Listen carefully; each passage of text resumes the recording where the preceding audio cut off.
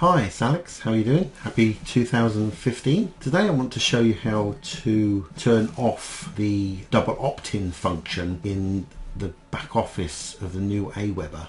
I was just making a list for a new product, a opt-in form for Funnel, and I came across no switch to turn the uh, double opt-in on and off. So what you do, you go over to create a new, create and manage a new list, create a list, obviously it will come up with your company name, website, this isn't my website, uh, and go down and fill in the necessary forms here and click next. List name, uh, so opt in off, uh, got to put lift that, list name, otherwise it will actually uh, not let me in. And it comes up with this page, and this is normally the page where you can switch on and off the actual uh, double opt-in.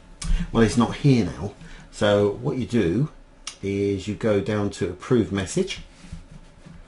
Okay, you bring up this page and up to list options and list settings.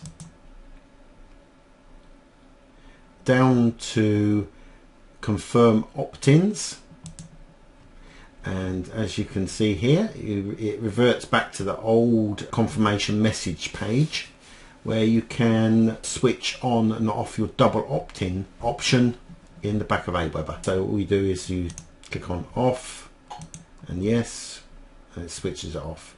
And you click save settings and that is how you turn off your double opt-in feature in the back office of Aweber. Hope this helps. See you later. Bye.